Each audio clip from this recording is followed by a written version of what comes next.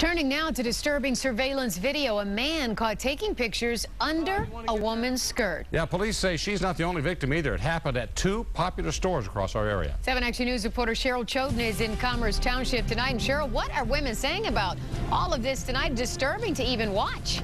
That's right, Carol. And women are saying it's disgusting. They're upset. They're saying it's creepy. And police say it's bizarre that a young man took a cell phone similar to this one and committed a crime right inside that Target store. What this young man did inside a Target store three days ago, caught on surveillance video, has him sitting in jail tonight and has women shoppers pretty upset. Well, that's pretty disgusting. He was very bold. Um, he had a lot of guts. It's pretty creepy and disgusting. I mean, yeah. It, it, it, shouldn't be happening. According to investigators with the Oakland County Sheriff's Department, 18-year-old Simone Eid walked through the store looking for his victims and then quickly recorded video under their skirts with his cell phone.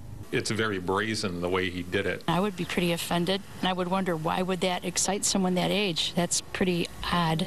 Inside the Target store, two women caught on to what he was doing, chased him outside to a field while calling 911. Deputies arrived quickly and caught him.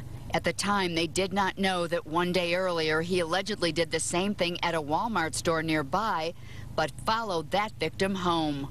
Actually knocked on the door and uh, wanted to continue the conversation, and she was uh, smart enough to call the police and lock herself in the bathroom. That's really creepy. That scary. That scares me. Police finally pieced it together, and the 18-year-old has been charged with taking disturbing photos. That's a felony, and also using a computer to commit a crime. Detectives say while what he did is pretty bizarre and of great concern, there is actually more to come. It's unsettling, and we have uh, other charges uh, pending on him, other investigations where he did things even more shocking than that, and those will come out sometime next week. Now, taking disturbing photos is a five-year felony. Using a computer in a crime is also a five-year felony. And again, more charges are coming next week, and we will keep you posted. In Commerce Township, I'm Cheryl Chodun, 7 Action News.